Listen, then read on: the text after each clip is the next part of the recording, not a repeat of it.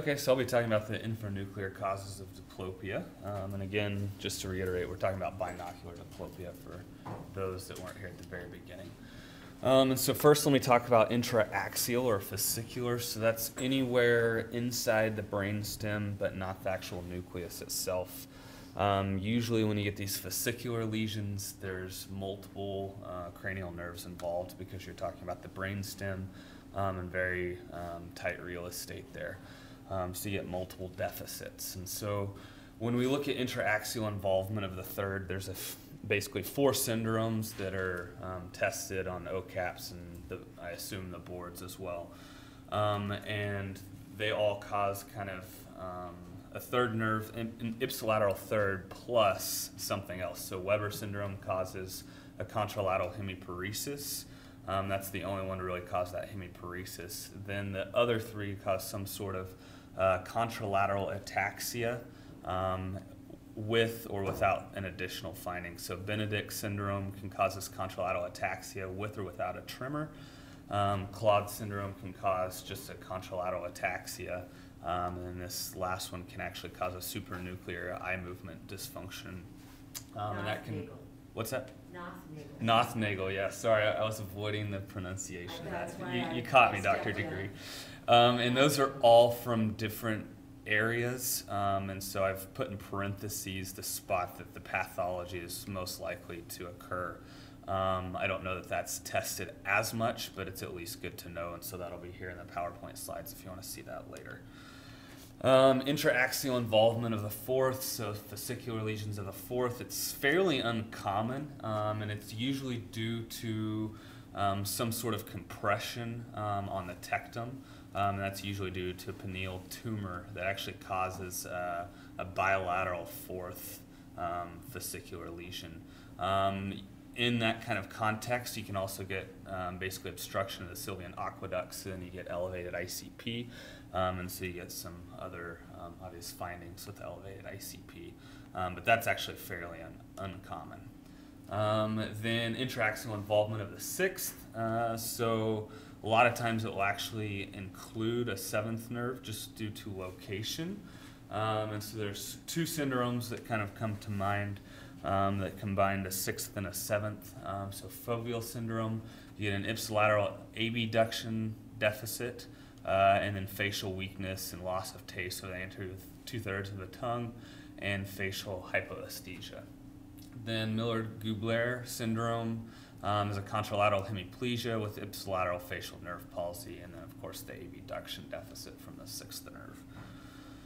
Uh, then, if we look at kind of the next portion of the nerve, so if we move out of the brainstem into the kind of subarachnoid segment, this is where most people actually hypothesize that ischemic nerve palsies occur. Um, and so they, in this specific location for the cranial nerves that are typically in isolation, so it's usually the cranial nerve 3 or cranial nerve 4 or cranial nerve 6 without other cranial nerves involved. Um, the big things to consider in ischemic nerve palsy, so you should have the maximal deficit at presentation or at least over the next seven to 10 days. Um, they may or may not have pain, so I know we always try to figure out was there pain involved, but honestly, that isn't real predictive of whether it was ischemic or not. Um, then this is not necessarily a diagnosis of exclusion, but you should at least rule out other more significant pathology prior to this. Uh, they usually improve over three to six months. So if you notice that a lesion is progressing over two weeks or is failing to improve over a three to six month time frame, you should reconsider an ischemic um, event um, and look at more uh, maybe compressive lesions or other um, issues. Uh, then usually this occurs in the setting of known risk factors. Sometimes you're the one that identify those risk, risk factors of diabetes, hypertension, hyperlipidemia. Um, and then the kind of word of warning that the BCSC likes to uh, give is just because something recovers. Uh, so like when we look at ischemic, uh, you know, cranial nerve palsies and they recover in three to three to six months, that doesn't necessarily mean uh, that it was a benign process. Uh, so you can actually get spontaneous recovery and then um, an a repeat cranial nerve palsy and um, kind of in uh, tumors of the CNS is not um, an un- unheard of phenomenon. So that's just something to be mindful of. Uh, then, if we look at the actual third, fourth, and sixth nerve palsies, so we've talked, or I even just recently talked on third nerve palsies two or three months ago. Um, so I'm going to be a little um, quick on third nerve palsies, but the big question um, anytime you see a third nerve palsy is whether it's pupil involving. Um, and I've shown all of these kind of repeat drawings that Ashley's already shown, um, just so when you guys are looking back through these slides, if you want, you can see the actual uh, nerve itself. Um, so um, when we either identify pupil sparing versus pupil involving, um, pupil sparing um, is more consistent with the ischemic etiology. Uh, it can be associated with pain, usually resolves in three to six months, kind of like the ischemic um, cranial nerves that I was giving a basic outline on just a second ago. Uh, this usually um, happens in the setting of patients that have known risk factors. Um, and then, at least what the BCSC recommends, if they have known risk factors, it's pupil sparing, and they have no history of cancer, that you don't necessarily have to neuroimage. I would say that a lot of uh, that's kind of controversial at this point due to the ease of imaging, um, but you can at least, um, at least from the BCSC, do that. Uh, then, if it's not in the setting of known risk factors, you should at least uh, further work this up. Um, and obviously, keeping in mind that um, GCA can do things just like this, and that's something you want to be very mindful of. Then pupil involving, uh, you should basically always assume it's an aneurysm until proven otherwise. Uh, so the BCSC will actually say that you do an emergent MRA, CTA. Um, if that doesn't identify uh, an aneurysm, then you may even want to proceed with a brain angiogram, the gold standard. Um, however, imaging is getting much and much better, so a lot of these very small aneurysms are being picked up on imaging. However, that comes with the caveat that 20% of pupil involving third nerve palsies can be vasculopathic in origin. So you may not ever identify an aneurysm or more uh, significant pathology. It may just be vasculopathic. However, that's a diagnosis of exclusion. Uh, then um, you start getting into more complex uh, issues of the third nerve, so relative pupil sparing. And all that really means is that the pupil reacts normally um, but you only have minimal impairment of the levator or ex- and or extraocular mu- muscle function. So you may have um, some muscles that are still functioning and it doesn't really fit a divisional third. Uh, so in that kind of context, you're thinking of more compressive lesions that may then subsequently uh, evolve into to include the pupil. Then divisional, just think of kind of the anatomy of the superior and inferior divisions of a third, um, and uh, you can get basically kind of a split, uh, not a full third, because you're getting either the, just the superior inferior division affected. That's usually pathology in the anterior cavernous sinus. Then the thing that um, kind of can skew things after third nerve palsies, and this isn't usually in the setting of ischemic thirds, um, is aberrant regeneration. And so this is just misrouting of fibers to produce co-contraction of muscles not normally affected or activated at the same time. So, for example, that's eyelid retraction with a with adduction or pupillary miosis with elevation. Dr. Can I just, can I just add two things? Um, of so course. relative pupil sparing. This means that the pupil is actually larger it partially reacts. Um, right. And that's where you really get into trouble because you you look at it and it's a little bit bigger. It works, sort of sort of spared because it works, right. and but it's bigger. And these th these are present in like a third uh, of um, um, pupil involving partially involving um, third nerve palsy. So um, this is relative pupil sparing is the thing that really gets you into Right. trouble. Do you image every single one of these relative Yes. pupil sparing? Okay. Do you know how many nights of sleep I lost before I just said yes? Image them all. Okay, so I just you just image those, and then aberrant regeneration. If you see somebody who's got primary aberrant regeneration, think mass lesions, tumor Right. involving a third nerve, uh, some kind of compression. Because that, if you see primary aberrant regeneration, it usually is related to a tumor. Right. And like I said, usually does not occur secondary to ischemic. Um, but it's kind of like another one of those board questions, you know.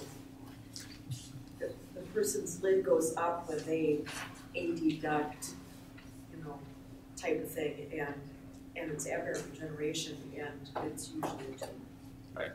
And just to connect aberrant regeneration to our um, lecture on pupils, what was the sign that's possible? Aberrant regeneration in pupils.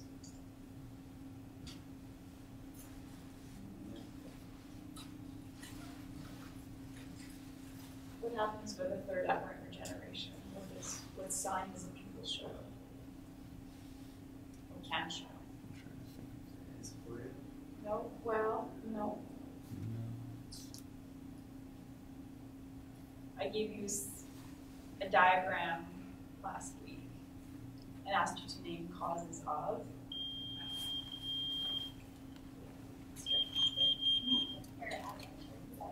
So light-near dissociation. oh, yeah. So you have to connect those two, you have to think about that on. Um, then going to the. Sorry, am I interrupting you? Okay. Okay. Fourth nerve Sorry pul- that we interrupted you. No, no, please do. We fourth, we. At any point, interrupt Dr. Digre. Okay. Uh, fourth nerve palsies. Um, so usually you'll get uh, diplopia that worsens in down gaze. So usually the patient will come in complaining of double vision while reading. Um, the ocular motility is usually normal. Um, and then we basically identify a fourth nerve, um, at least a unilateral fourth, off of a three-step test. And for uh, some of the PGY2s that haven't dealt with this, or even just a reminder for myself, uh, you try to identify the hypertropia, which sides it's on, um, which side is it worse in, so either left or right gaze, um, and is it worse in right or left head tilt. So, for example, a fourth, a right fourth would have a right hyper that worsens in left gaze and right head tilt. Um, then just remember any of these closed-headed traumas that we're seeing in the ER. Uh, it's not uncommon to get a fourth nerve palsy due to closed-headed trauma. Um, and that's due to the crossing nature of the actual nerve itself. Then the six nerve palsies, uh, so it's the most frequently affected uh, isolated ocular motor palsy. Um, causes this horizontal binocular diplopia, uh, causes adduction deficits um, that, uh, with horizontal diplopia that worsens in gaze to that same side. Um, and then you can also get an ipsilateral eso deviation. Um, most common cause, at least in the right age setting, is ischemic. Um, you can get all sorts of sixth nerves though, but that's at least the most common cause. Um, then I've already given you kind of the guidelines of an isolated mononeuropathy. Um, so if it's kind of fits that profile, uh, then you can call it ischemic. Otherwise, you probably, or at least do a medical workup um, if you don't have known risk factors. Otherwise, you need to start looking into other things besides ischemic. Um, then, in at least what the BCSC advises, anyone under 50, so they don't really fit that ischemic profile, uh, you should consider imaging because so few of those are ischemic in origin, um, and so you're looking at other causes of a sixth nerve palsy. Uh, then combinations of cranial nerves, and this is kind of a complex thing, and I think actually Dr. Digre is talking about the cavernous sinus and maybe Friday, this Three Friday. D cavernous sinus and three D disc. Okay, so 3D cavernous sinus this Friday. glasses and a silver screen. That's right. So I won't steal too much of her thunder, but when you start getting combinations of cranial nerves, you're either looking at the cavernous sinus. Uh, well, I guess we could back up and say the brainstem, then back into the cavernous sinus or into the superior orbital fissure. It's very hard to actually dissect superior orbital fissure and a cavernous sinus. Um, so be thinking any of these contiguous nerves, three, four, five, six, and then sympathetic nerves. Uh, if you have involvement of multi, uh, multiple of those, start thinking cavernous sinus. Uh, the neuro exam is critical, especially cranial nerve exam in this um, setting, um, because you need to identify that fifth um, palsy. Uh, then this uh, requires pretty um, extensive workup, uh, probably at least starting with imaging, and then depending on what imaging shows, you may need to go to a lumbar puncture, um, depending on what uh, you th- think the etiology is and the imaging suggesting.